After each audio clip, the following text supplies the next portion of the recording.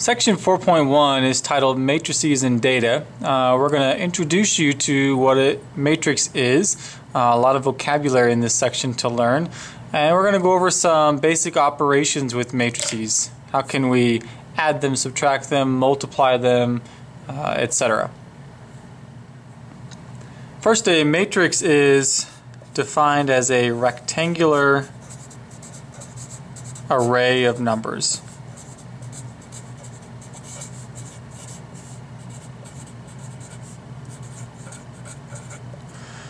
Now, matrices, uh, the numbers within the matrices are placed inside of square brackets as seen below.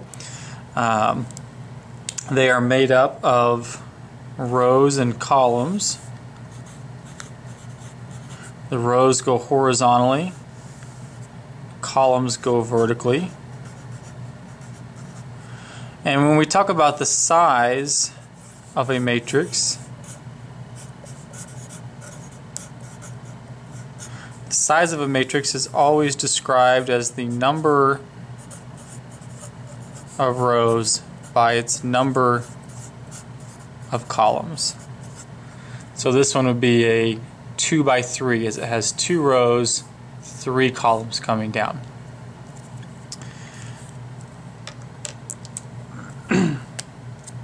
now all of the individual numbers within a row we can call entries um, or elements. Sometimes you hear that word too.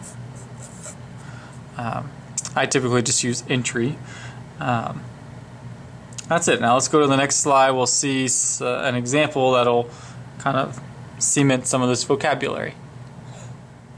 Okay, here we see matrix A. Uh, generally, matrices are denoted by capital letters.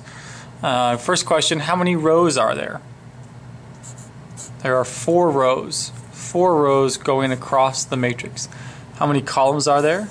There are two. Two columns coming down. What is the size of the matrix? I'd call it a 4 by 2 matrix. Now, what are the entries at the following locations? Um, you see, first of all, the, the little lowercase a corresponds to a number within capital A's matrix. And the subscript here, this A sub 32, this is like the address of the matrix, or the address of the entry, sorry. It tells us to look for the entry that's in the third row, second column. Okay, so third row is right here. Second column is right here. Third row, second column is 7. A sub 12 would want first row, second column. So first row, second column, that would be negative 2.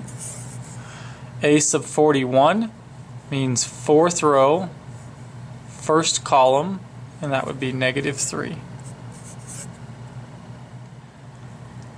Adding and subtracting matrices, I'll say, can only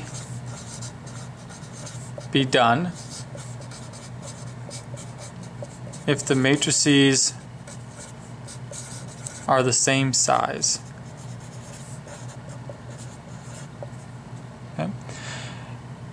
So once we check if they're the same size, you determine that yes or no, you can or cannot add them together. Well, if you can, all you do is simply add the entries in the same corresponding positions within each of the matrices that you're adding and subtracting. It's a very intuitive, natural thing to do. Um, most people get this just kind of right away. Let's do a few examples of it. First example, uh, by visual inspection, we can see that these are the same size. I've got a 2 by 2 and a 2 by 2, which means we can add them, and the answer is going to be a 2 by 2. So what we do is we just add the numbers in the respective same positions. So we add the first row, first column numbers. 3 plus negative 7 is negative 4. And then we move over to the second spot in this row. Negative 2 plus 8, 6. We drop down to the next row, 0 plus 7, 7. And then we hit this last spot here in the bottom right hand corner, 9 plus 2 is 11. That's all there is to it. Shouldn't be too difficult to do. The next example, we again investigate size just by visual inspection. We can see these are the same size. They're both 1 by 3 matrices. They both have one row, three columns. So I'm just going to add across here. 9 and 2 make 11. 6 and negative 5 make 1. And then 3 and 7 make 10. The last problem on the bottom, uh, visual inspection yields that these are not the same size. I have a 2 by 2 and a 2 by 3. This is not possible. I cannot add these together, or in this case I cannot subtract these as their size is different. Scalar multiplication is multiplying a matrix by a constant. So it's not matrix multiplication, as we're not multiplying matrices together. Uh, we're just multiplying a single matrix by a single number. Okay? And the scalar just distributes inside of the matrix. Another operation that you're going to find very easy and very intuitive to do. Hey, this slide shows two examples of scalar products. First one we have 5 times the matrix here, this 3 by 2 matrix. The 5 is just simply going to distribute to everything inside the matrix. We're just going to multiply it on in. So the matrix is going to remain the same size. We're going to have 15 negative 10. Looks like we're going to have 30, negative 40, have negative 15, 10, and that's it. The next problem, we see two matrices, we have scalar products on each, and we have a subtraction here. So we've got kind of a combination of operations. First thing I'm going to do is these scalars, which is just distributing these numbers inside each respective matrix. So we have a 12, 21, and 6 on the next one makes negative 12, 30.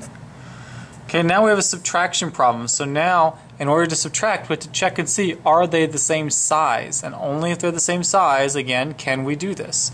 Well, they are the same size. They're both 1 by 2. Uh, the first numbers in each together, um, 12 minus negative 12 is 24. 21 minus 30 is negative 9. Okay, let's end with an example that you can try on your own if you wish. Uh, just pause the video, do the work, and then push play, and you can fast forward to the end result if you want to see if you've got it right or not problem defines matrix A to be this one, matrix B is over here. We're asked to find 3 times B minus 4 times A. So, let's begin with 3 times matrix B. So that would be multiplying matrix B times 3. All the numbers times 3. That's a scalar product. So negative 12, 36, 9, 36, and 21 minus now I need to do 4 times matrix A so all these numbers times 4 makes 12 8 negative 8 16 12 negative 4 Okay, now it's a subtraction problem, so we check for size. We can see that these are, in fact, the same size. So we're going to go ahead and subtract. Negative 12 minus 12 is negative 24. 36 minus 8 is 28. 9 minus negative 8 17. 30 minus 16 is 14. 6 minus 12 is negative 6. 21 minus negative 4 is 25.